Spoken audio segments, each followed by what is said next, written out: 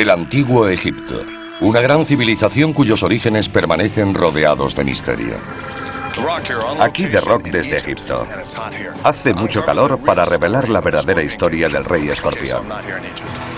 No estoy en Egipto, sino en el decorado de mi nueva película, El Rey Escorpión, que fue uno de los primeros gobernantes de Egipto. Era un tipo poderoso, carismático e increíblemente guapo más o menos como yo. Pero, ¿sabían que existió un verdadero rey escorpión hace más de 5.000 años? Los arqueólogos están empezando a conocerlo. Pero por lo que ya sabemos, este fue un tipo bastante malo. Su nombre era Rey Escorpión. Tenía la tumba más grande del barrio y puede que incluso ayudara a inventar el lenguaje escrito. Hablamos de un hombre que pudo haber sentado las bases de una de las más grandiosas civilizaciones de la historia de la humanidad e inspiró una de las mejores películas del celuloide. Les vamos a contar la historia del verdadero rey escorpión.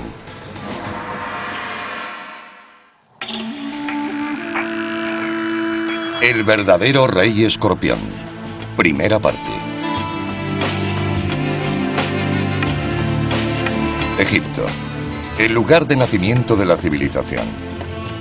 Tierra de pirámides, momias, jeroglíficos, dioses con cabezas de animales y reyes poderosos. Los eruditos pensaban que sabían cómo había comenzado todo, pero estaban equivocados. Hoy los arqueólogos de todo el mundo viajan a los desiertos más desolados de Egipto, buscando pistas en la arena y enfrentándose a las criaturas más letales del mundo, intentando descubrir los orígenes de esta desconcertante tierra y la identidad de sus primeros faraones. Lo que están encontrando es toda una nueva dinastía y un misterioso rey desconocido. Su nombre inspiró una película de Hollywood, El Rey Escorpión. Pero las circunstancias de su vida son mucho más fascinantes que la ficción. El rey escorpión podría ser creador de la escritura, la religión, los ritos guerreros y edificios monumentales en una época que ni siquiera sabíamos que había existido. La búsqueda del verdadero rey escorpión es un viaje de 5.000 años al nacimiento de la civilización egipcia.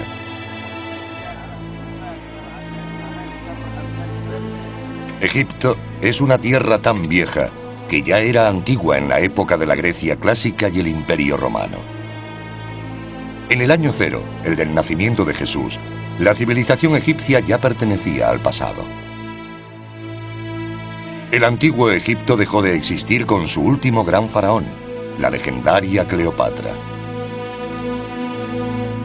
Solo tenía 39 años cuando murió, pero Egipto ya tenía más de 3.000 años. Se sabe mucho del fin de la civilización egipcia, pero poco de su nacimiento. ¿Cómo empezó todo? Para encontrar los orígenes del antiguo Egipto, debemos retroceder en el tiempo hasta el 3500 a.C., mucho antes del tiempo registrado. Las tribus nómadas se mueven por las fértiles riberas del río Nilo. A lo largo de cientos de miles de años, sus campamentos temporales se fueron convirtiendo en pueblos y ciudades. Los asentamientos forjan alianzas y rivalidades. Al sur se encuentra un sofisticado reino, cuyo nombre deriva de su situación en el curso superior del Nilo. Su gobernante lleva la bulbosa corona blanca del Alto Egipto. En el norte, donde el delta se abre al mar Mediterráneo, se alza su menos organizado homólogo, el Reino Bajo, gobernado por quien lleva la corona roja con lengua.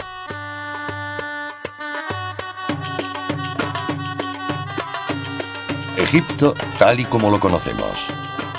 Tierra de pirámides, esfinges, momias y faraones, nace cuando el primer rey une los reinos alto y bajo.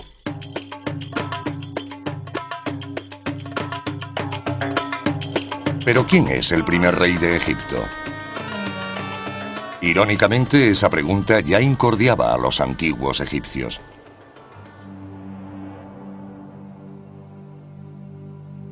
Para llevar la cuenta de sus gobernantes, los antiguos egipcios crearon la llamada Lista de Reyes, unos murales minuciosamente esculpidos en las paredes de los templos.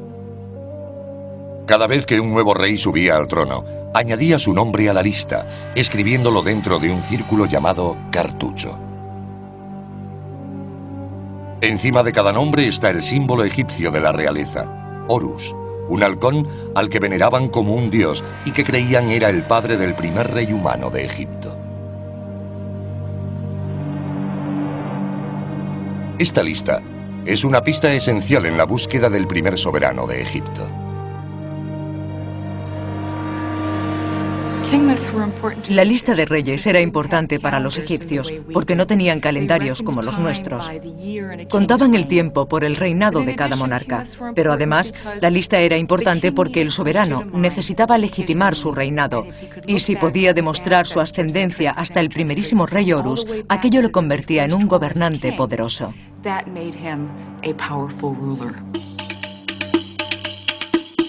Tras conquistar Egipto, Alejandro Magno utiliza la lista de reyes para establecer una nueva dinastía de faraones griegos. Los reyes tolemaicos, de los que Cleopatra es la última gobernante de importancia, legitiman su reinado como griegos, grabando sus nombres en la lista de reyes, colocándose en el linaje de los grandes faraones de Egipto. Pero los tolemaicos también utilizan la lista como calendario, una puerta al pasado de Egipto. Por primera vez registran la historia de Egipto en un lenguaje diferente al jeroglífico. De hecho, son los griegos quienes llaman a la escultura egipcia jeroglíficos, que significa grabados sagrados. El libro más importante sobre Egipto escrito en griego es la Egiptiaca, de tres volúmenes. En el siglo II a.C., uno de los reyes tolemaicos encargó a un sacerdote llamado Manetón que escribiera la historia de Egipto. En ella se remonta 30 dinastías hasta llegar a la fundada por un rey al que llamó Menes, el primer rey de la primera dinastía. Pero ¿hasta qué punto es fiable la lista de reyes? En la época en que Manetón escribía la suya, intentaba trazar 3.000 años de historia. Y para empeorar las cosas, solo conocemos su traducción de la lista de reyes por otros antiguos eruditos. La obra original se perdió.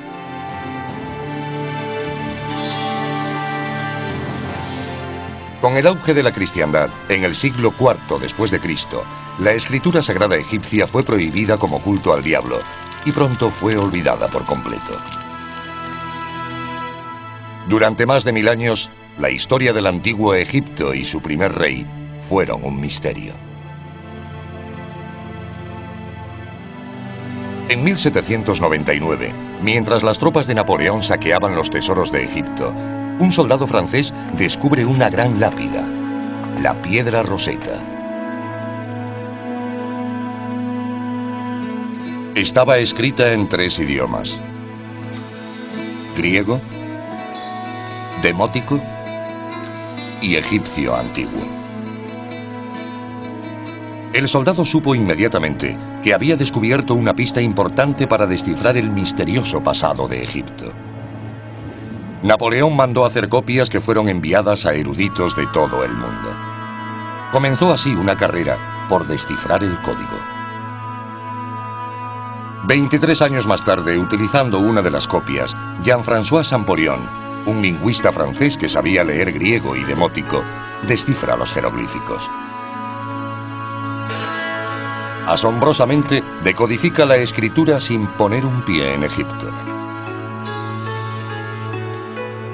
Pero hacer las copias no solo llevó a descifrar el olvidado sistema de escritura, también ha originado un descubrimiento sorprendente.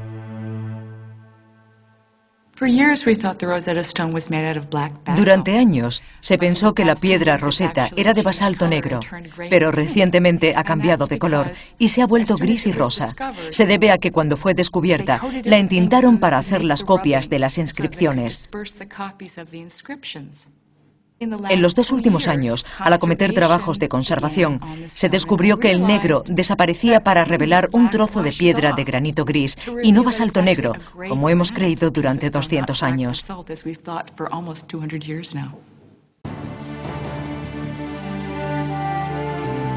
Negra o gris, la piedra roseta ha llevado a uno de los más importantes descubrimientos de todos los tiempos. La nueva capacidad para leer jeroglíficos abre todo un nuevo mundo al pasado. De repente, los estudiosos del siglo XIX y los buscadores de tesoros pueden leer las fuentes egipcias originales. Redescubren al rey Menes como el primer faraón de la primera dinastía. Pero pronto surge una nueva duda. En 1898, dos jóvenes egiptólogos desentierran una placa votiva que literalmente reescribe la historia egipcia. Se trata de uno de los documentos más importantes del antiguo Egipto. Es llamada Paleta de Narmer por la figura central, el rey Narmer. Pero hay un problema. Narmer no está en la lista de reyes. Sin embargo, el simbolismo de la paleta sugiere que Narmer podría haber sido el responsable de la unificación del Alto y Bajo Egipto. Esto le convertiría en el primer rey de la primera dinastía. En una cara, el rey Narmer lleva la corona emplumada del Bajo Egipto, mientras examina una fila de prisioneros decapitados. En la otra, lleva la redondeada corona del Alto Egipto y blande una maza sobre un cautivo arrodillado.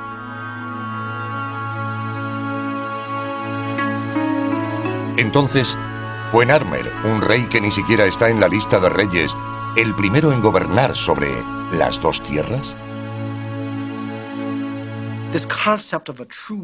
Este concepto de un verdadero unificador a principios de la primera dinastía parece más adecuado a Narmer.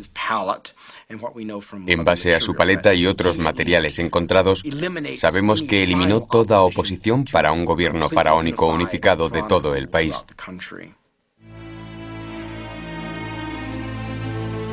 El simbolismo de la paleta de Narmer fue suficiente para convencer a los primeros egiptólogos de que él, y no Menes, fue el fundador del Egipto faraónico. La paleta da pie a toda una serie de preguntas. ¿Está equivocada la lista de reyes? ¿Habían olvidado los egipcios que esculpieron la lista real sus propios orígenes? ¿Hay más reyes antes de la época de Narmer? Irónicamente, el objeto que podría contener las respuestas fue descubierto a la vez que la paleta, apenas a nueve metros. En él, un hombre desconocido se enfrenta a la imagen de un escorpión. Solo ahora, 100 años después de su descubrimiento, los egiptólogos han comenzado a identificar esta misteriosa figura. ¿Quién puede ser?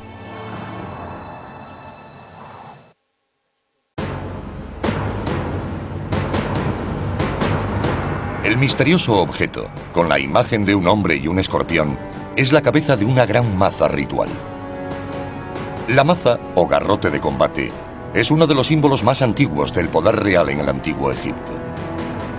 A lo largo de 3.000 años de historia, los reyes fueron representados haciendo pedazos los cráneos de sus enemigos con mazas. Las cabezas de las mazas usadas en combate tenían el tamaño aproximado de una pelota de béisbol, pero las rituales podían alcanzar el de un balón de baloncesto y pesar más de 9 kilos. La cabeza con la imagen del hombre y el escorpión es la más antigua jamás encontrada. ¿Podría ser la maza de otro rey desconocido? Solo ahora, más de un siglo después de su descubrimiento, los egiptólogos comienzan a entender su significado. La figura central de la cabeza de Maza lleva la corona blanca del Alto Egipto y está participando en un acto ritual, probablemente abriendo un canal. Esta es la imagen más antigua de un rey llevando la corona blanca de Egipto. Otra primicia es la imagen del rey llevando agua a la tierra, que se convertiría en el símbolo de dar riqueza al pueblo en el Egipto faraónico. Colgando de la falda del rey hay otro símbolo faraónico, el rabo de toro. El rabo de toro probablemente simboliza al faraón adoptando los atributos del toro, siendo fuerte, viril y poderoso. Y esta es la prueba más antigua que muestra a un faraón de ese modo. Estas características seguirían representándose a lo largo de todo el periodo faraónico. Por toda la cabeza de la maza hay ave frías colgando de postes que representan diferentes regiones del Alto Egipto. El ave fría simboliza a los pueblos conquistados. ¿Quién es esta figura sagrada que conquista el Alto Egipto? Basándonos en la iconografía, el tamaño de la figura, lo que hace, la gente que lo rodea, pero sobre todo en su corona, sin duda es un rey del Alto Egipto. Pero la clave para descubrir su identidad está en las figuras que tiene ante él, el rosetón y el escorpión, que se leen como Rey Escorpión. ¿Quién es este rey escorpión? ¿Por qué, después de 5.000 años, solo ahora comenzamos a saber algo de él? Al principio, algunos egiptólogos se negaban a creer que era real.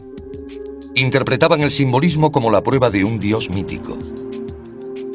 Después de todo, hay una tradición en la religión egipcia que se basa en combinar características de animales y humanos.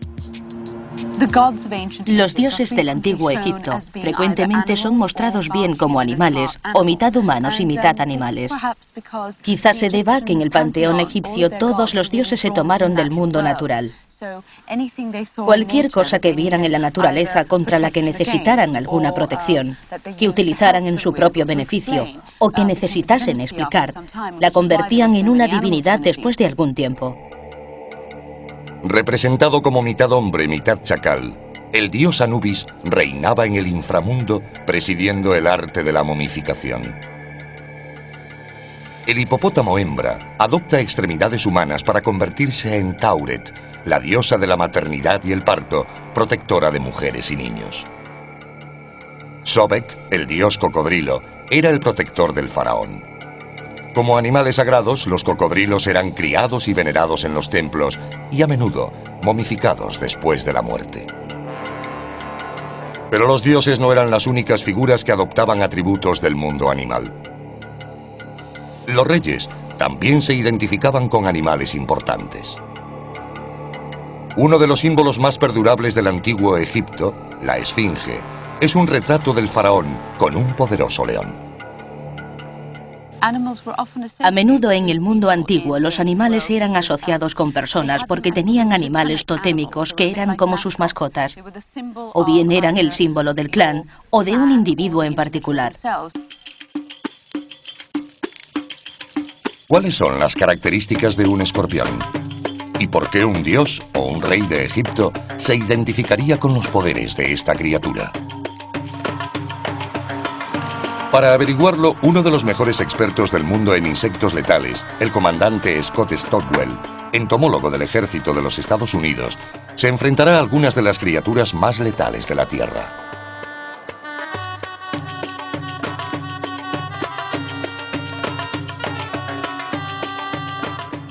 Existen más de 1.500 especies de escorpión con nombres como homicida del sur, emperador y cazador de la muerte. Fueron de los primeros seres vivos que colonizaron la Tierra. Hay fósiles de más de 420 millones de años, unos 200 millones de años antes de que apareciera el primer dinosaurio. Desde entonces han cambiado relativamente poco. Los escorpiones que vemos hoy en día tienen más o menos el mismo aspecto que los de hace 420 millones de años. Los escorpiones pueden resistir cambios extremos de temperatura, desde los 46 grados centígrados hasta los 8 bajo cero. Sorprendentemente, incluso pueden quedar congelados en un bloque de hielo y revivir más tarde. Pueden aguantar tres meses sin comida ni agua. Un producto químico en su piel les ayuda a retener la humedad bajo el intenso sol del desierto. Sin embargo, también tiene un extraño efecto secundario. Bajo una luz ultravioleta el escorpión se vuelve fluorescente. Su principal método de defensa es un aguijón que inyecta una potente mezcla de venenos a cualquier atacante potencial.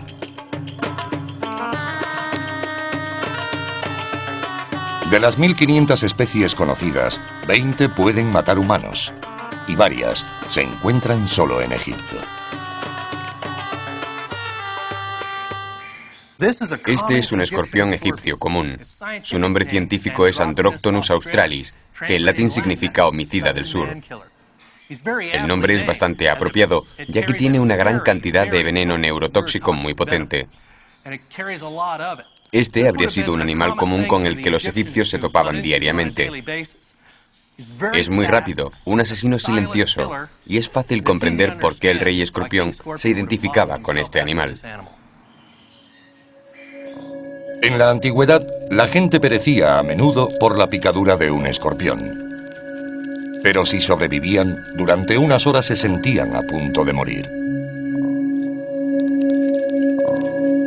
El dolor inmediato es parecido a golpearse el dedo con un martillo, o quizá como clavarse un hierro candente. Es muy desagradable y muy doloroso. Como los escorpiones inyectan un veneno neurotóxico en el sistema nervioso, la víctima puede sentir dolor por todo el cuerpo. Inmediatamente se siente dolor en las articulaciones, especialmente en los codos o en las axilas si pica en la mano, o en la ingle si lo hace en el pie. Puede sentirse una especie de hormigueo en el pecho, náuseas o salivación excesiva con un vapeo incontrolado. Algo desagradable para cualquiera. Estos son síntomas de una liberación excesiva de adrenalina, hormonas y presión sanguínea que provocan arritmia cardíaca y colapso circulatorio.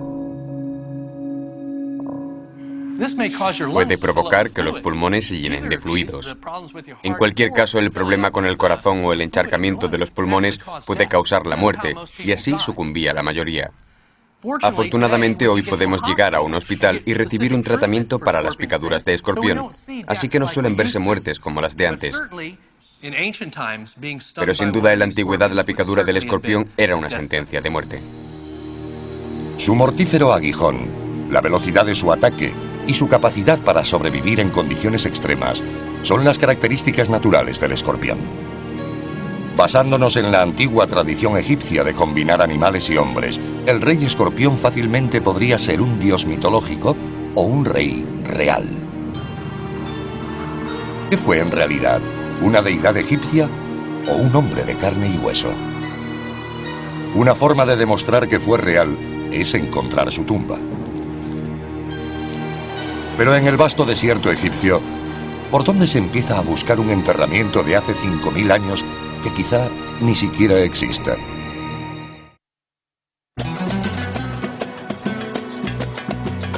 La actual Abidos. Situado a 480 kilómetros al sur del Cairo, la mayoría de turistas nunca esperarían que este remoto pueblo fuese una vez la ciudad más importante del antiguo Egipto.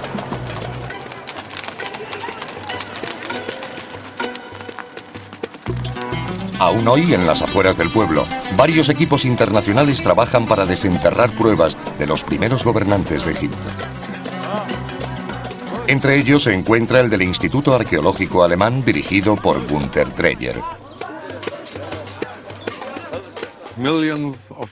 Millones de fragmentos. Estos fragmentos son los restos de vasijas de ofrendas de peregrinos que llegaron hasta aquí para adorar a Osiris, el dios de los muertos. Y estos fragmentos le han dado a Abidos su nombre moderno, Um el Kab, madre de las vasijas. Limitado por un lado por las tranquilas aguas del río Nilo y por el otro por los imponentes riscos del desierto, Abidos, la necrópolis egipcia, una ciudad de los muertos, parece ser poco más que una ruina cubierta por la arena del implacable Sáhara. Pero fue una vez una fértil vega. Y hoy los egiptólogos descubren rastros de ocupación humana que se remontan a más de 4.000 años antes de Cristo.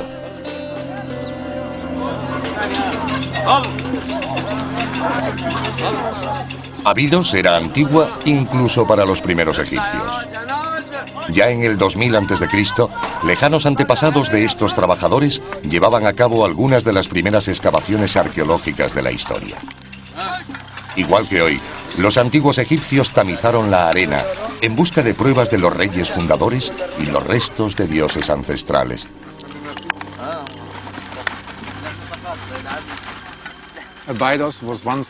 Abidos fue una vez el lugar más sagrado de todo Egipto, porque los egipcios pensaban que el dios de los muertos, Osiris, también fue enterrado aquí. Según la mitología, fue un antiguo rey de Egipto, por lo que era bastante natural suponer que había sido sepultado aquí. Y acometieron excavaciones a gran escala para encontrar su tumba. Pensaron que la habían encontrado y situaron aquí un lugar de culto. Todo egipcio devoto intentaba venir para hacer una ofrenda a Osiris. Y aquí podemos ver los restos de todas esas ofrendas, millones de fragmentos de vasijas. Más de 4.000 años de vasijas rotas. Vasijas hasta donde alcanza la vista. Cada fragmento representa una ofrenda de buen vino o aceite importado, traído por gente corriente que buscaba una vida segura después de la muerte.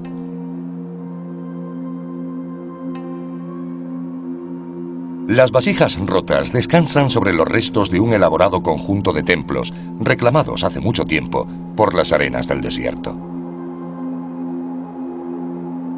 Sin embargo, un monumento principal se alza sobre el desolado paisaje un templo dedicado a Osiris, el dios del inframundo y padre del primer rey mitológico de Egipto, Horus, el halcón.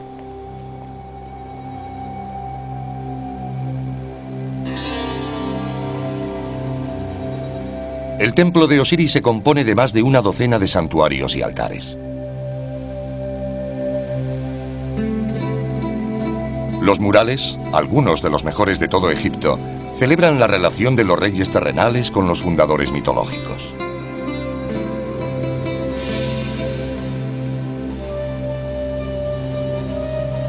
Cuanto más se adentra en el templo, más sagrada es la historia.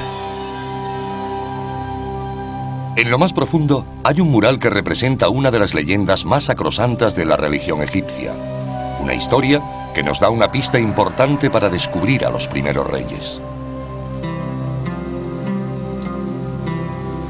Aquí, en el santuario interior del templo, se encuentra el mito de Osiris e Isis y su hijo, Horus.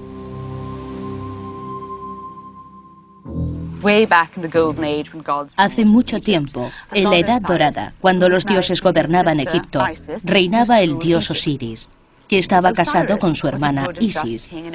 Osiris era un rey bueno y justo, y todo el mundo le amaba, salvo su hermano Set, que cada vez sentía más celos de Osiris y su popularidad. Él quería gobernar Egipto, así que tramó un plan para ocupar su lugar. Ordenó que le hicieran un arca decorada con piedras semipreciosas del tamaño exacto de Osiris. Entonces, Set dio un gran banquete e invitó a todo el mundo. En su transcurso, cuando todo el mundo estaba muy alegre, se dijo que quería que probaran el arca. Quien cupiera se quedaría con ella, algo parecido al cuento de Cenicienta. Mucha gente lo intentó y nadie cupo, hasta que finalmente entró Osiris, que por supuesto cabía perfectamente. En ese momento Set y sus secuaces cerraron la tapa del arca y arrojaron el cuerpo de Osiris al Nilo. Isis sufría tanto que decidió hacer algo. Recorrió todo Egipto y reunió los pedazos de Osiris. Tuvo mucho éxito, pero perdió un órgano vital. Al tener tantos conocimientos de magia, pudo crearlo de barro y así reanimar a Osiris que enseguida revivió. Entonces, ella misma se convirtió en un Milano real y copuló con Osiris para más tarde dar a luz a Horus que acabó convirtiéndose en el faraón de Egipto.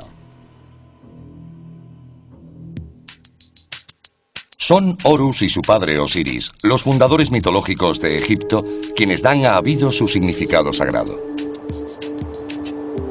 Asombrosamente, la búsqueda de tesoros y dioses mitológicos al final llevó a los arqueólogos al descubrimiento de los primeros reyes reales de Egipto. Una de las primeras excavaciones en Abidos tuvo lugar en 1895. Cavaron en 160 tumbas en cuatro días. Afirmaron haber encontrado la verdadera tumba de Osiris. Mostraron una calavera que aseguraron era del dios y se marcharon. Más tarde, un inglés, Sir Flinders Petrie, llegó al lugar. Aunque rechazaba la idea de que Osiris hubiera sido enterrado aquí, sospechaba que Abidos pudiera contener las tumbas de los primeros reyes de Egipto. Pero ¿cómo demostrarlo? Itri pensó que la abundancia de fragmentos de vasija podría dar una pista. Petrie utilizó los diferentes tipos de alfarería que se usaban en el Egipto prehistórico como una herramienta para crear una cronología relativa de este periodo, del que no existe constancia escrita. Observando cómo aparecían estos diferentes tipos de vasijas en los grupos de tumbas que excavaba, fue capaz de establecer una secuencia del desarrollo en alfarería que posteriormente dividió en 49 etapas numeradas. Petrie fue el primer egiptólogo que asoció las pruebas materiales, la alfarería de las tumbas y las propias tumbas a la lista de reyes. Comparando su cronología de cerámica con la lista de reyes del antiguo Egipto, Petrie confirmó que estos eran los sepulcros de los reyes de la primera dinastía. Los situó en las últimas etapas de su línea cronológica, de la 31 a la 49. Sospechaba que en alguna parte de Abidos podían encontrarse las tumbas de reyes incluso anteriores a los de la lista.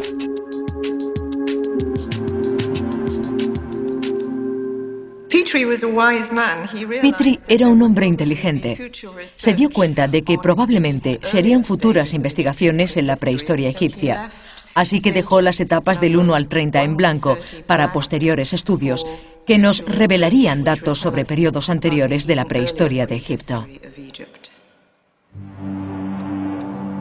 Aquí, en una zona de Abidos, previamente pasada por alto, Gunther Dreyer recoge literalmente los pedazos de donde Petrie los dejó. Busca esas primeras tumbas de reyes anteriores a la primera dinastía, las tumbas de la dinastía Cero.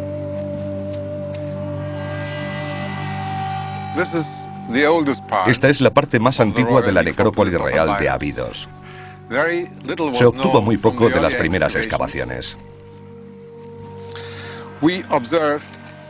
Observamos que hay muchos fragmentos en esta zona, como este, y decidimos volver a investigarla.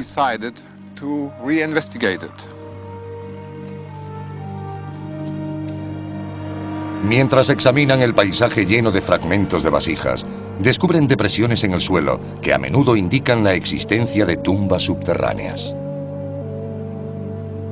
Basándose en el número de tumbas y sus tamaños, el equipo anticipa un descubrimiento significativo.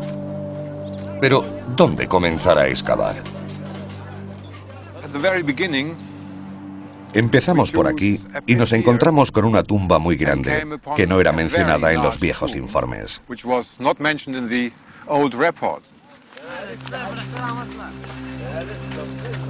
Comienzan a cavar.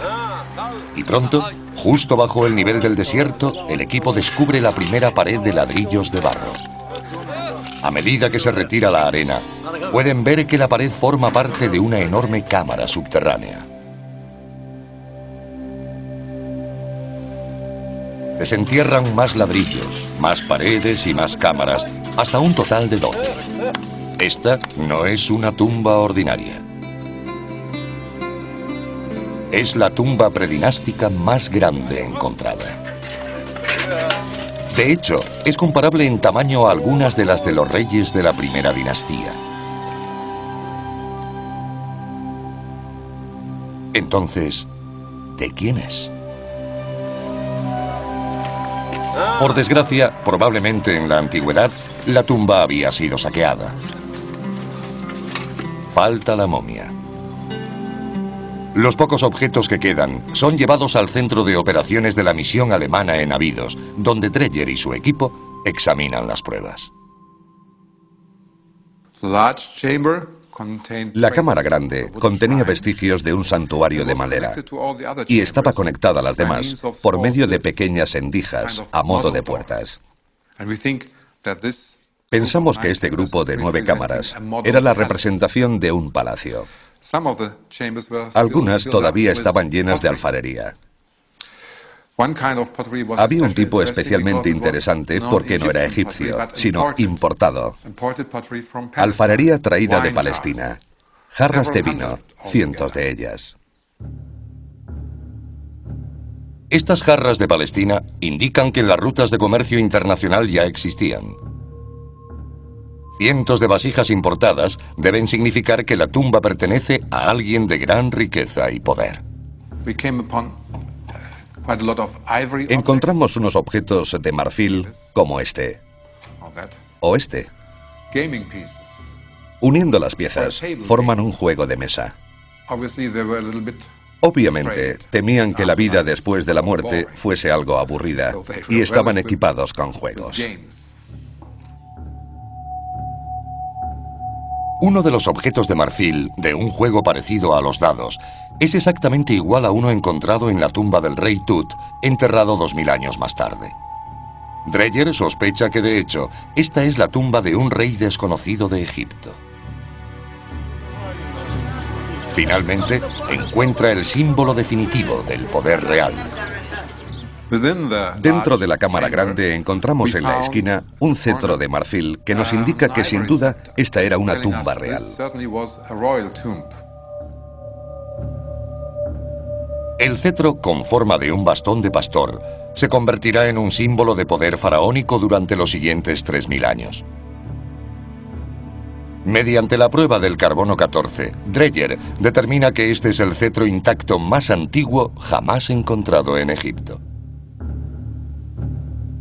Con el antiguo cetro en mano, Dreyer cree haber descubierto a un rey anterior al tiempo de los reyes. ¿Cuál es su nombre? Descubrimos muchos fragmentos de alfarería, algunos completos, con inscripciones en tinta. Y los más importantes son aquellos en los que aparece la imagen de un escorpión. A partir de estas inscripciones, pudimos concluir que esta tumba perteneció a un gobernante con el nombre de Escorpión. Es real. Hay un rey escorpión. Ningún dios mitológico tiene una tumba terrenal. El descubrimiento de la tumba del rey escorpión es una prueba irrefutable de que él gobernó el Alto Egipto como rey hace más de 5.000 años.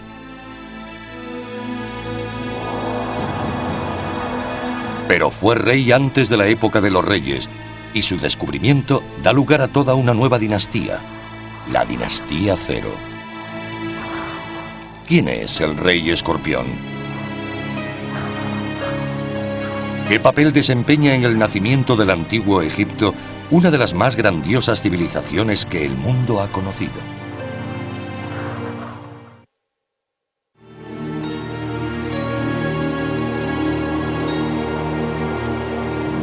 Las características de la tumba del rey escorpión sientan las bases para los enterramientos de todos los faraones durante el resto de la historia egipcia. Escorpión fue el que inició lo que se convirtió en una práctica dinástica. Y en su enterramiento, que tiene más de 5.000 años, incluyó una reproducción de su propio palacio. Así creaba una casa para su alma que sería eterna. Aunque simple en estructura, es fácil ver cómo, por primera vez, la tumba del rey escorpión crea un plan arquitectónico para alcanzar la otra vida. Imita el palacio en el que vivía para acoger su cuerpo tras la muerte. Acabada, la tumba es cubierta con arena con forma del montículo primigenio del que, según la religión egipcia, fue creado el mundo. Además de su significado espiritual, la tumba también fue diseñada para proporcionar al rey todos los bienes materiales que necesitaría en la otra vida. Escorpión, probablemente un rey muy importante según el tamaño de su tumba, fue enterrado con gran solemnidad, rodeado de muchos objetos funerarios. Por supuesto, hoy quedan muy pocos porque fueron robados en la antigüedad. Damos por supuesto que la mayoría de los faraones tenían comida, bebida, jarras con aceites y ungüentos, y mucho oro y piedras semipreciosas. El único rey del que tenemos una idea aproximada de lo que tenía en su enterramiento fue Tutankamón.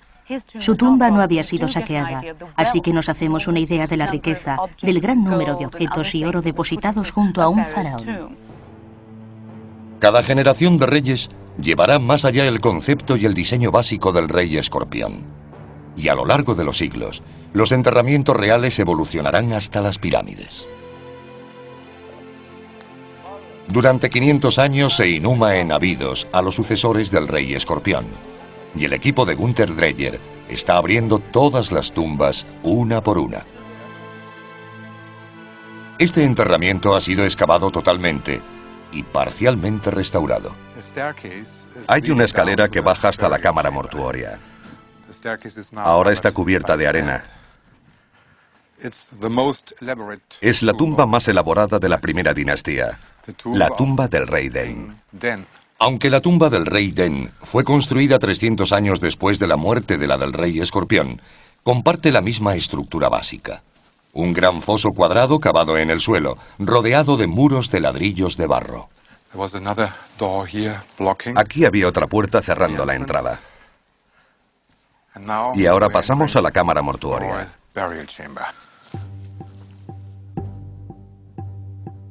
La cámara estuvo solada con grandes losas de granito rojo y negro.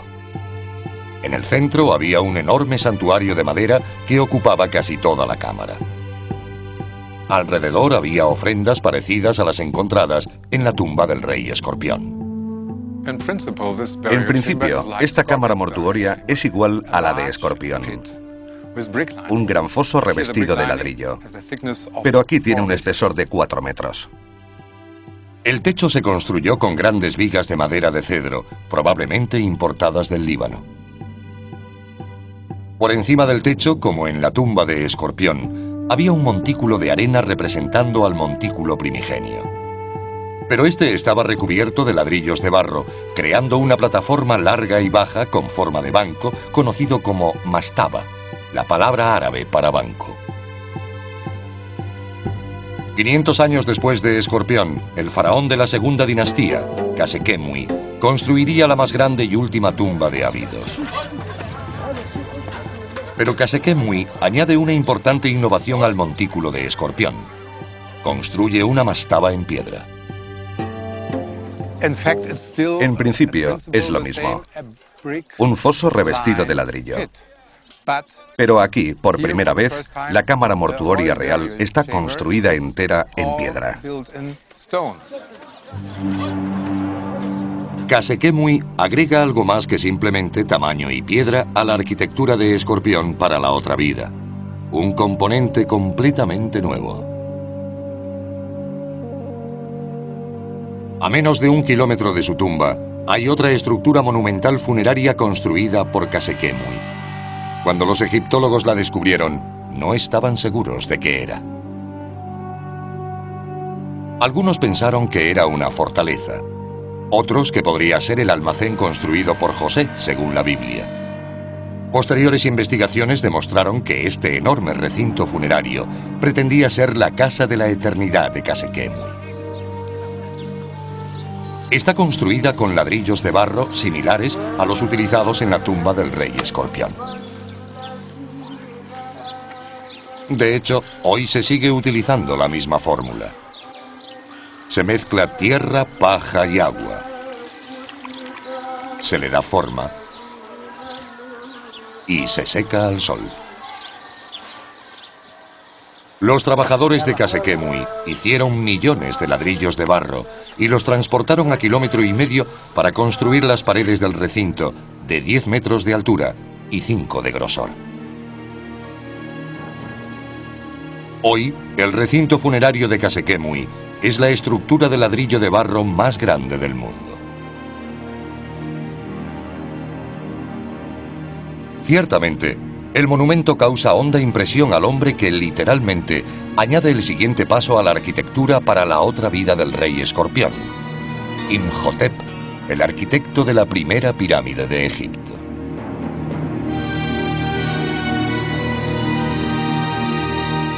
Imhotep diseña para su faraón un complejo mortuorio que combina el cercado funerario de Kasekemui con la mastaba. Pero Imhotep da dos pasos más. En lugar de muros de ladrillo de barro, utiliza piedra. Y en lugar de construir una sola mastaba, las apila.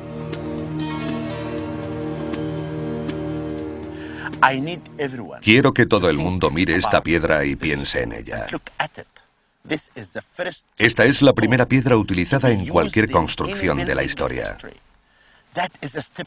Esta es la pirámide escalonada. La pirámide escalonada cambia la imagen de Egipto para siempre. Ayudados por 5.000 años de erosión, los arqueólogos han descubierto cómo evoluciona la pirámide escalonada desde la sencilla tumba del rey escorpión. Imhotep Comienza con el simple banco o mastaba. Luego le da un acabado de caliza blanca, quizá porque originalmente nunca pensó en construir algo más alto.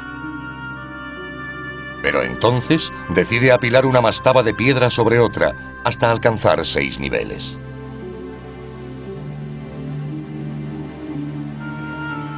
Una vez completada, la pirámide escalonada se convierte en el edificio más grande del mundo. En el corazón de esta colosal estructura está la misma creencia que inspiró la tumba del rey escorpión. A lo largo de esta evolución, las construcciones, desde la mastaba de Abidos hasta las grandes pirámides de Giza, han estado destinadas al enterramiento de los reyes para la otra vida. En 100 años, la pirámide escalonada evolucionará hasta la verdadera pirámide. y durante los siguientes mil años, los faraones construirán pirámides para asegurar su viaje a la otra vida. La construcción de las pirámides alcanza su punto álgido en Giza, casi 2500 años antes de Cristo. Con una altura de 152 metros y unos 240 metros de ancho, la Gran Pirámide de Keops es la estructura de piedra más grande del mundo y debe su propia existencia a la sencilla tumba de ladrillos de barro del rey escorpión.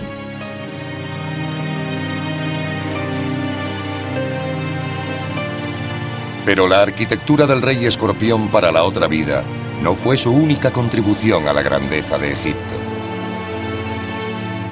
Un descubrimiento en el suelo de su cámara mortuoria podría ser aún más monumental que las grandiosas pirámides.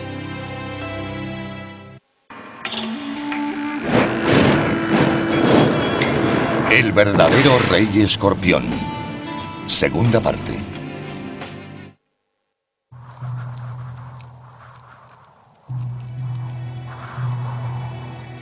Lo que Gunther Dreyer y su equipo encontraron en el suelo de la tumba del rey escorpión cabe perfectamente en una caja de zapatos. Aunque pequeño en tamaño, su significado es monumental. Lo que encontraron son etiquetas de hueso y marfil, del tamaño de sellos postales, 160 en total. Cada una de las etiquetas del rey escorpión está grabada con sencillos dibujos, árboles, pájaros, serpientes y elefantes. A primera vista los grabados parecen dibujos primitivos, parecidos a los encontrados en cuevas y alfarería prehistóricas. En las pinturas rupestres, una imagen es lo que es. Un pájaro significa pájaro. Pero las etiquetas del rey escorpión quizás signifiquen algo más. La primera pista que Dreyer advirtió es que muchas de ellas contenían más de una imagen. Una intrigante complejidad para unos grabados tan primitivos.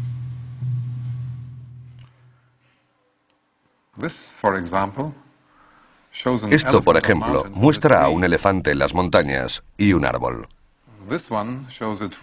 Esta muestra un árbol y un animal parecido a un perro o un chacal. Primero, Dreyer trató de interpretar las etiquetas como grupos de dibujos, pero no les encontró sentido. Entonces se preguntó, ¿y si estos grabados no son simplemente dibujos, sino más bien símbolos? Si así fuera, las etiquetas del rey escorpión serían la escritura más antigua del mundo. A primera vista, no sabíamos para qué fueron hechas, pero algunos de los signos nos recordaban a los jeroglíficos. Los estudiamos con más cuidado, intentando averiguar si se trataba de escritura o no.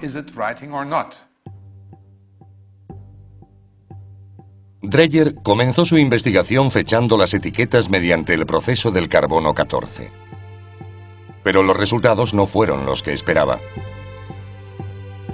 Las etiquetas del rey escorpión databan en torno al 3250 a.C., más de 200 años antes del nacimiento estimado de la escritura. Se cree que surgió alrededor del 3000 a.C. en Mesopotamia, en el actual Irak. Conocida como cuneiforme, esta caligrafía con forma de cuña fue creada presionando varillas o cañas en arcilla fresca. Las pruebas sugieren que el alfabeto cuneiforme evolucionó a partir de un sencillo sistema de numeración. Los estudiosos han creído durante mucho tiempo que los mesopotámicos introdujeron su sistema de escritura en Egipto a través del comercio. Así a principios de la primera dinastía, alrededor del 3000 a.C., los egipcios transformaron la escritura mesopotámica en jeroglíficos. Pero si las sospechas de Dreyer sobre las etiquetas del rey escorpión son correctas, desmiente completamente la teoría actualizada aceptada sobre los orígenes de la escritura. Significaría que la escritura egipcia se creó de forma independiente de la de Mesopotamia. El descubrimiento implicaría que esa escritura, quizá el invento más importante del mundo, se originó antes en Egipto. Pero, ¿cómo probarlo? Para considerarlo un verdadero sistema de escritura, cada dibujo debe significar más de lo que representa. Una serpiente debe ser más que una serpiente. Debe representar un valor fonético. En otras palabras, una serpiente debe representar una letra del alfabeto. Usando jeroglíficos egipcios como guía, Dreyer intenta leer las etiquetas de escorpión fonéticamente. Esta muestra a un elefante en las montañas. Si empleamos el valor fonético de jeroglíficos similares, el elefante se leería como Ab y las montañas como Yu. Juntos serían Abyu, que es el nombre de Abidos. Así, estos grabados pueden leerse como una temprana escritura jeroglífica. Tal y como Dreyer había esperado, el elefante y las montañas funcionan como letras del alfabeto. Juntas forman sílabas para deletrear el nombre de la antigua ciudad de Abidos. Pero, ¿funcionará con otras etiquetas? Seguimos probando y aquí tenemos una etiqueta en la que aparece una serpiente sobre montañas.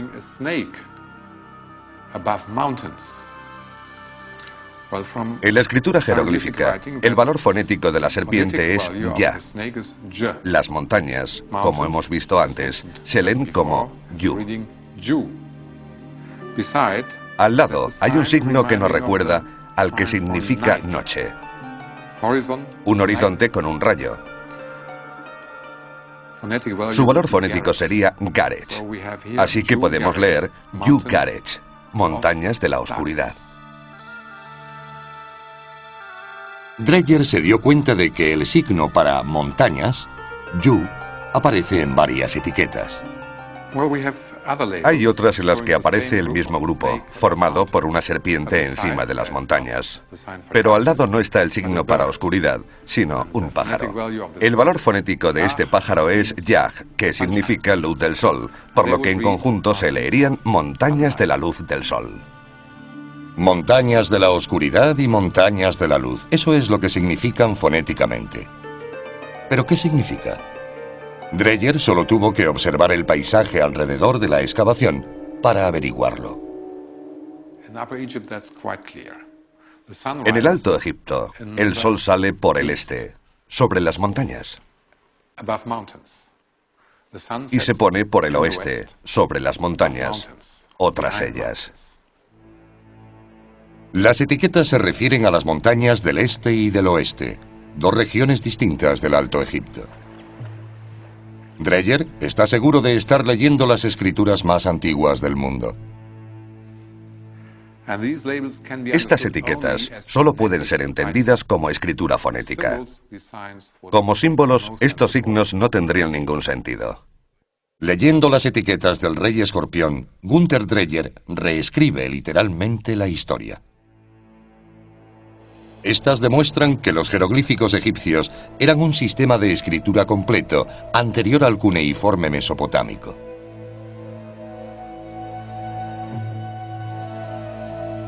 Pero hay otro aspecto intrigante sobre el nacimiento de la escritura en Egipto. La falta de pruebas de un sistema de escritura anterior, más primitivo, sugiere que no fue una evolución. Ya que la escritura aparece repentinamente en la época del rey escorpión, fue quizá una invención por encargo.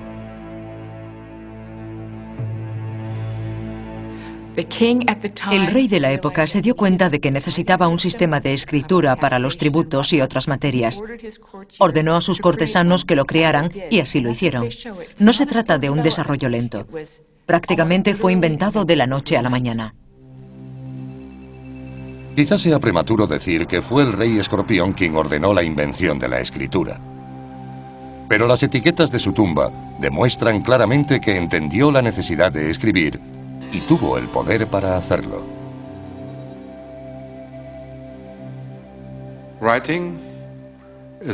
La escritura es una invención muy importante porque transmite información.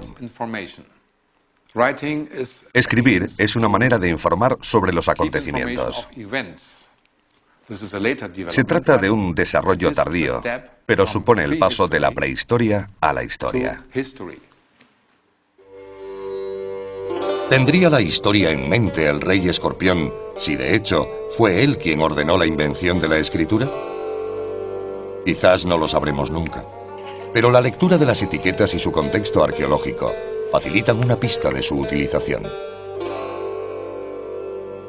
Dreyer encontró las etiquetas en el suelo de la tumba y debido a que muchas de ellas tienen pequeños agujeros, cree que estaban fijadas a cajas de madera, piezas de lino y jarras de aceite, entregadas como pago al rey por las ciudades que gobernaba. Las etiquetas son básicamente recibos de impuestos pagados. ¿Qué es lo más importante de gobernar? Cobrar impuestos. Uno tiene que controlar quién ha pagado, quién ha enviado qué. Con pequeñas cantidades es fácil, pero cuando la cifra es mayor, la cosa se complica. Tuvieron que inventar y desarrollar un sistema para guardar información, y ese fue la escritura. En las manos del rey escorpión, la escritura se convierte en una herramienta para acumular riqueza y poder. Pero con esa riqueza y poder vienen las rivalidades, y el rey debe utilizar al ejército para proteger su reino y sentar las bases para la unificación de todo Egipto.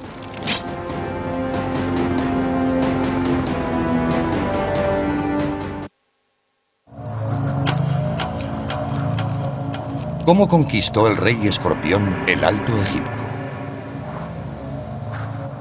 La respuesta reside a lo largo del curso natural del Nilo, en una zona donde el río gira bruscamente al este para sortear el desierto occidental. Llamado Kena, este territorio fue un importante centro de actividad en el mundo antiguo. El egiptólogo John Darnell, de la Universidad de Yale, ha estado explorando la zona durante más de una década. Hoy muestra un descubrimiento que puede desvelar los misterios de la subida al poder del rey escorpión y ser el documento histórico más antiguo de Egipto y probablemente del mundo.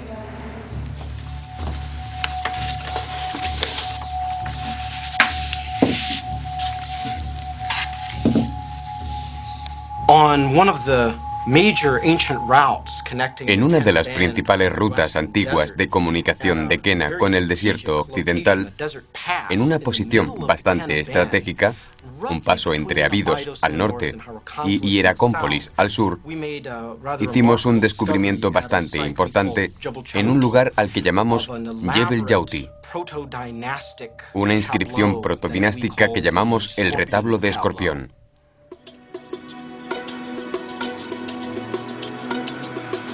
Mientras John Darnell descifra las inscripciones en Yale, su esposa, Deborah Darnell, pasa gran parte del año en el campo, explorando antiguas rutas y reuniendo nuevas pruebas. Darnell practica lo que ella llama arqueología de guerrilla, protegiendo el lugar de vándalos y ladrones, así como de la arena, el viento y la erosión, los enemigos naturales de su frágil descubrimiento.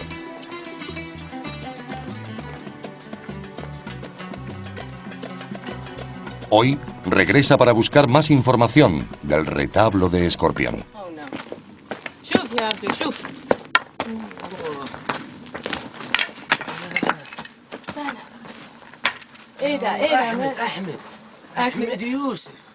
Alguien ha grabado su nombre sobre la inscripción. Ni siquiera son ladrones. Solo han puesto sus nombres en el mejor sitio, que es donde Horus Escorpión escribió el suyo. No sabían que se trata de un lugar antiguo.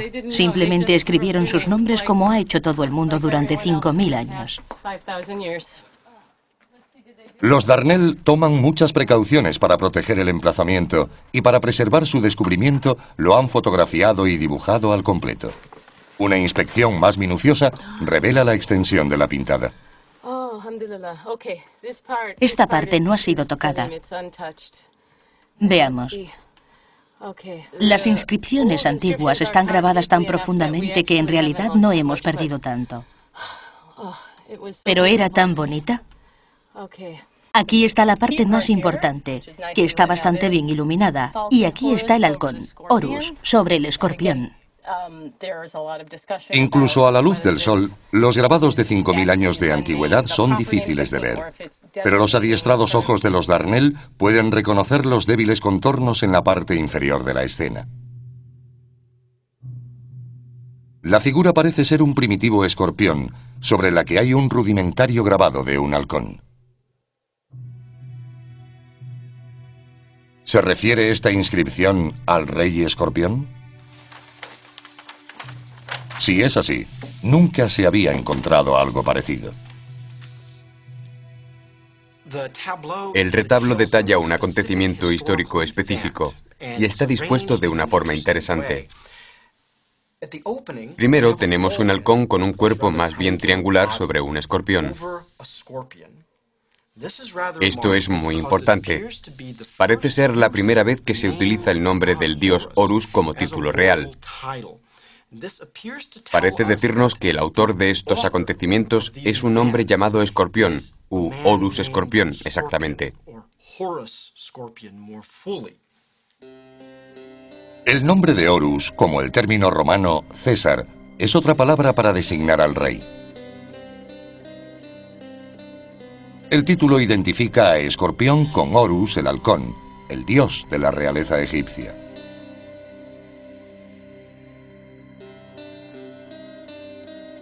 Los soberanos posteriores tendrían hasta cinco nombres reales que simbolizaban sus muchos poderes. Pero el nombre de Horus seguirá siendo utilizado por todos los monarcas en los siguientes 3.000 años. Notablemente, el rey escorpión es el primero en la historia egipcia que usa el título de Horus.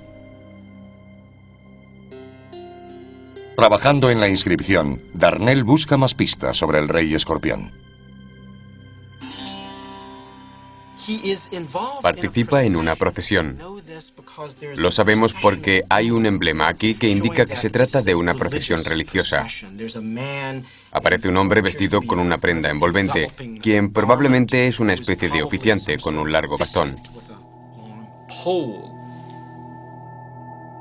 Esta misma figura religiosa, una especie de sacerdote, puede ser encontrada en muchos objetos importantes de la historia del antiguo Egipto, incluyendo la paleta de Narmer. Siguiendo al sacerdote, hay otra escena familiar. Es seguido por dos grupos independientes, que son casi tan importantes como su primer uso del título de Horus. Porque lo que vemos es a un prisionero atado con el pelo alborotado detrás de él, maniatado como un pájaro, sujeto por una cuerda que sostiene esta gran figura de aquí, en el extremo izquierdo del retablo. Este hombre sostiene con la otra mano lo que parece ser una maza. Una maza con cabeza de pera que blande sobre la cabeza del prisionero atado.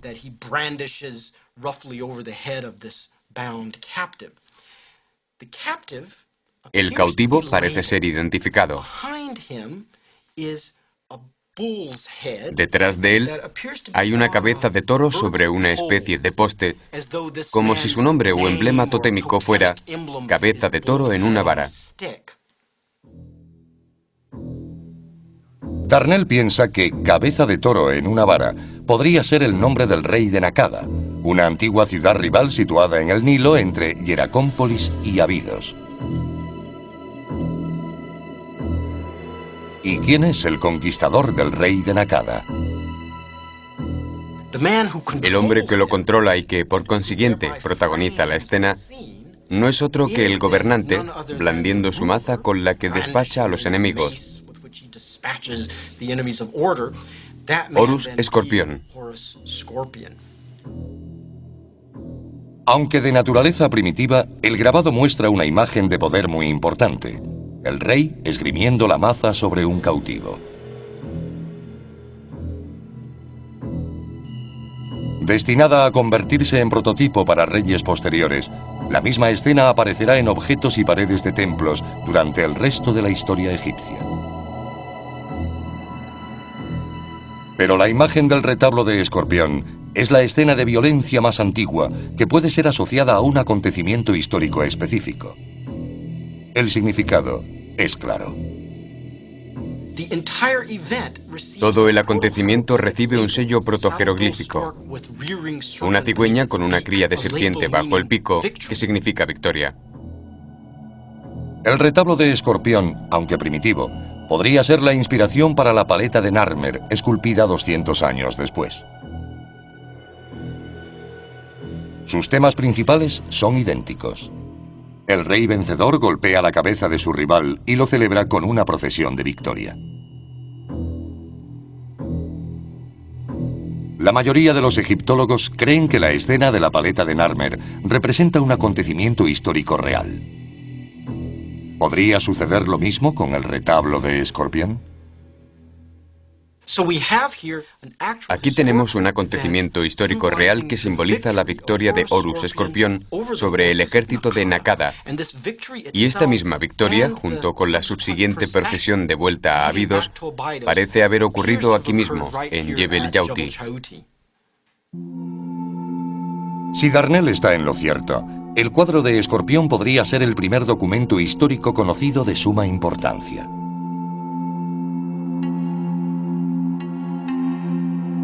Pero ¿cómo podemos estar seguros de que estos acontecimientos ocurrieron realmente? La geografía de Jebel Yauti nos da algunas pistas, y el lugar donde pudo haber nacido el rey escorpión proporciona otras.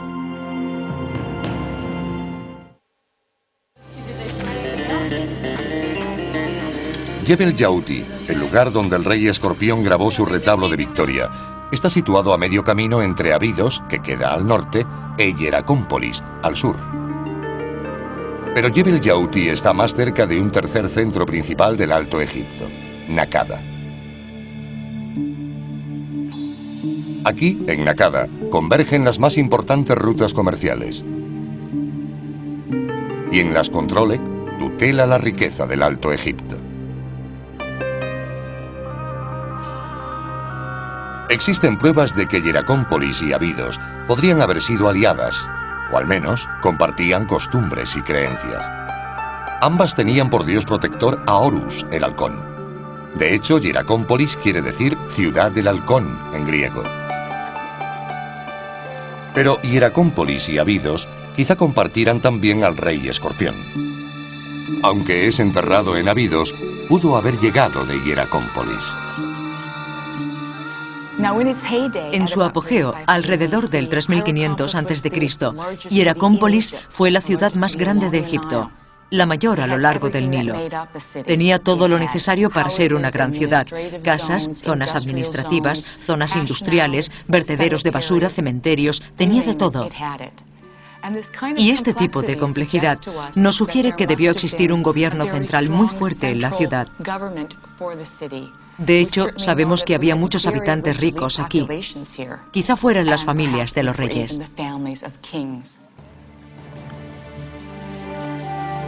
En este ambiente favorable, las semillas de la política, el arte, el comercio y la religión, en resumen, de la sociedad, fueron sembradas para florecer rápida y abundantemente. En Hieracómpolis, los arqueólogos han encontrado las momias más antiguas de Egipto y los restos de su primer templo.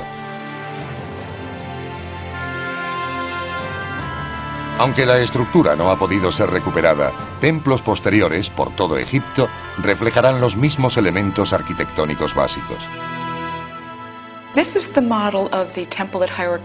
Esta es una maqueta del templo de Hieracómpolis que data del 3500 a.C. aproximadamente.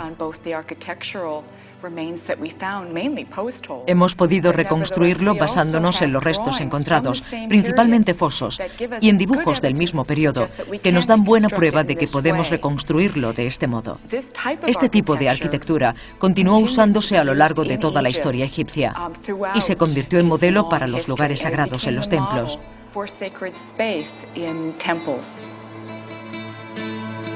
Fue aquí, en este templo, donde los arqueólogos descubrieron la paleta de Narmer y la cabeza de maza de escorpión. ¿Es posible que el rey hiciera ofrendas aquí?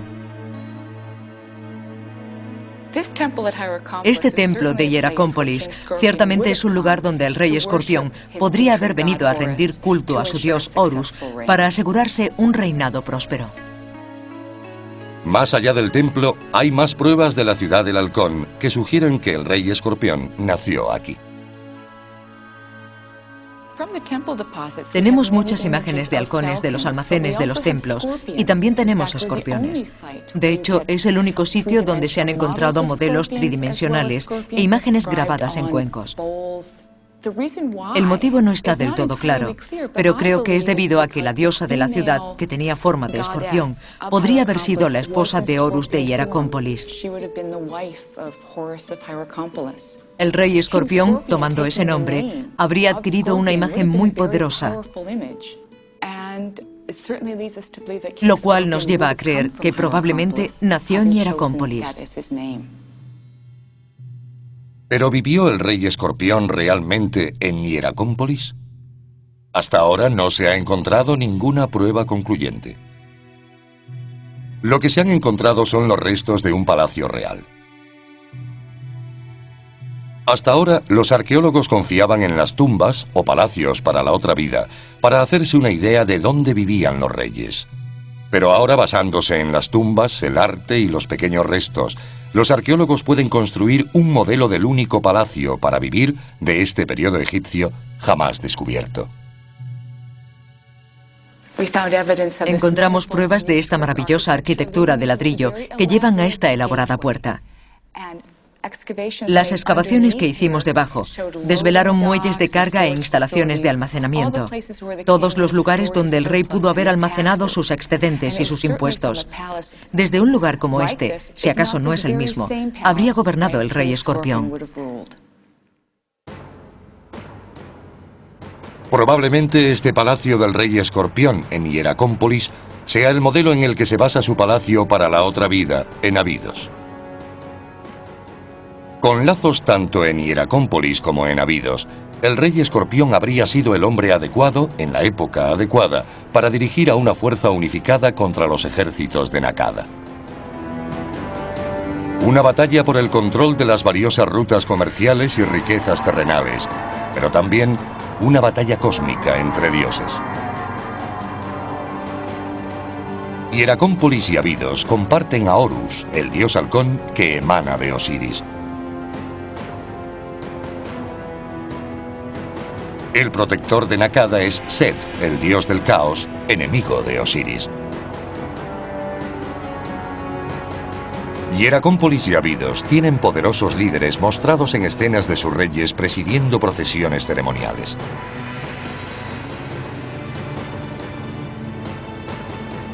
Pero la gente de Nakada, en antiguo arte rupestre, es representada como cazadores y guerreros salvajes y emplumados. Lo que se produce es un enfrentamiento clásico entre las fuerzas del orden y las del caos.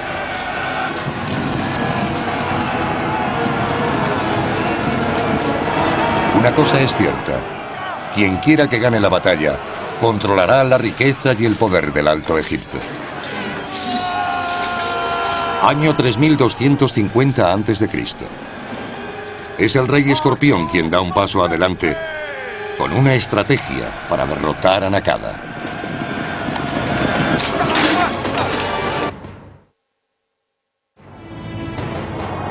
¿Cuál es la estrategia del rey escorpión para derrotar a Nakada? Basándose en la geografía de Jebel Yauti, un remoto puesto avanzado en el desierto, y en el hecho de que el retablo esté situado aquí, John Darnell cree que Escorpión lanzó un ataque sorpresa que comenzó exactamente en Jebel Yauti.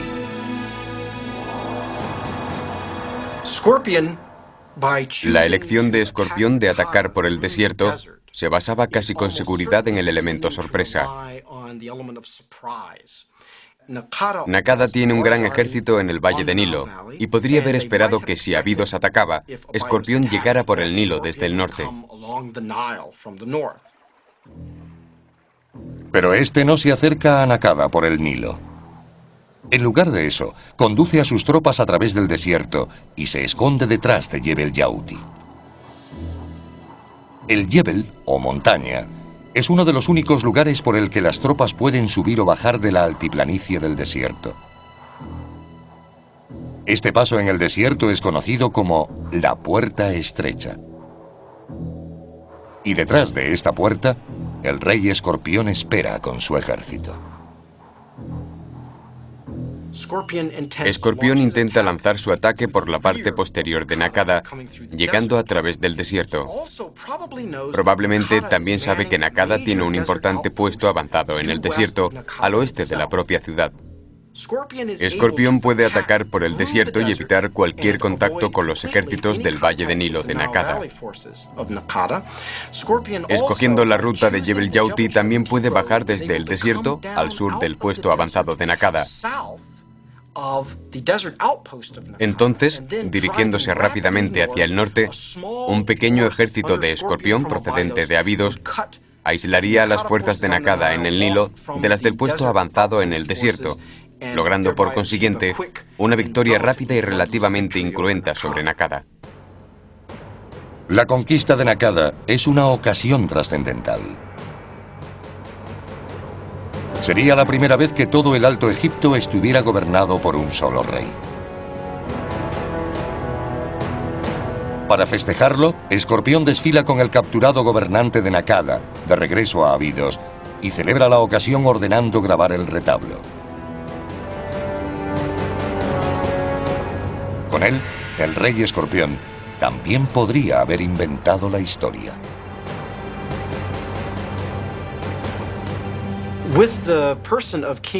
Con la persona del rey Horus Escorpión, nos encontramos en el vértice entre prehistoria e historia. El propio retablo y numerosos elementos de su tumba, en Abidos, muestran el nacimiento de la escritura jeroglífica.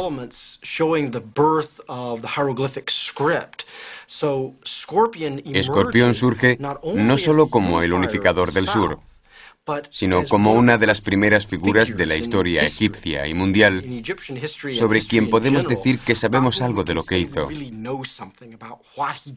¿Dónde? ¿Por qué? Y quizás incluso el cómo.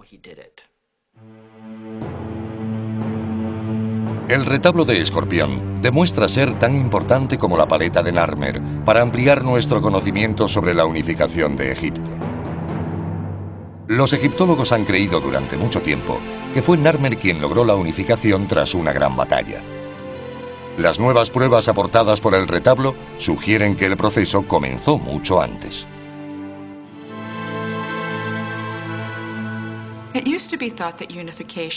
Solía pensarse en la unificación como un acontecimiento único.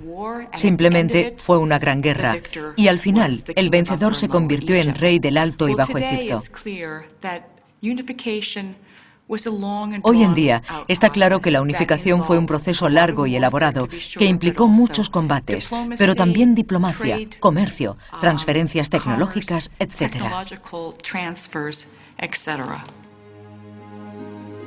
El retablo establece la victoria del rey escorpión sobre Nakada como el primer paso conocido hacia la unificación del Alto y Bajo Egipto.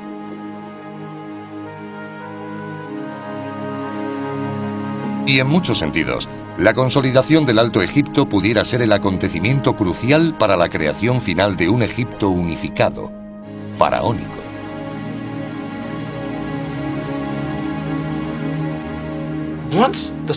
Una vez que el sur del país es unificado, una vez que el Alto Egipto es un solo reino, la dominación del norte por el sur puede considerarse un hecho de antemano. Lo que Escorpión representa aquí, en versión anterior a la paleta de Narmer, es el precursor necesario de lo que se convertirá en la conclusión final e inevitable. El triunfo de Narmer sobre la última resistencia en el norte. De modo que tenemos los orígenes de la historia faraónica, los elementos básicos de la religión faraónica, la parafernalia e incluso la escena del rey blandiendo su maza sobre las cabezas de sus enemigos cautivos. En muchos sentidos se puede decir que la historia faraónica, al menos simbólicamente, comienza con el retablo de Escorpión. El rey Escorpión gobernará un país rico abrirá rutas comerciales hasta el actual Afganistán. Desarrolla la escritura para controlar sus riquezas y el arte para celebrar su poder y el de sus dioses. Construirá palacios y templos y tumbas para la otra vida. Y como se representa en la cabeza de Maza, llevará agua a la tierra y riqueza a su pueblo. Es el rey escorpión quien sienta las bases de la más grandiosa civilización que el mundo ha conocido.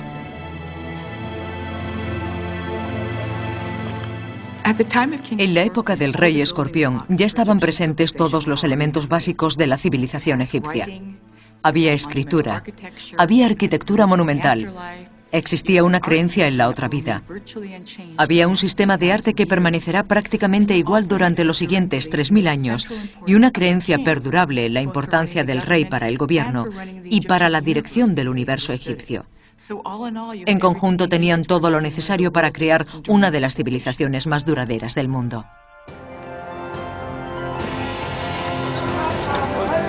Mientras los arqueólogos perseveren en su búsqueda de los orígenes del antiguo Egipto, y a medida que salen a la luz más pruebas, los eruditos continuarán reescribiendo los libros de historia.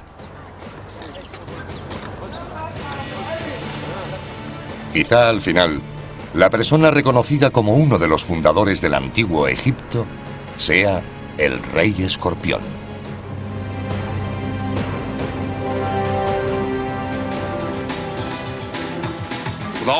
Con todo lo que hemos aprendido del rey escorpión, apenas rascamos la superficie. Los arqueólogos siguen ensamblando la historia de todo el periodo predinástico. Hay al menos otras 10 tumbas reales aún por excavar en Abidos. Con tanto por descubrir de todos los gobernantes anteriores o posteriores, ni siquiera estamos seguros de que existiera un único rey escorpión. Se cree que algunos de los objetos que os hemos mostrado podrían pertenecer a dos reyes diferentes. Pero al menos sabemos que hay un solo rey escorpión en el cine. Soy yo, y me gustaría verles entre el público. Soy The Rock. Gracias por acompañarnos.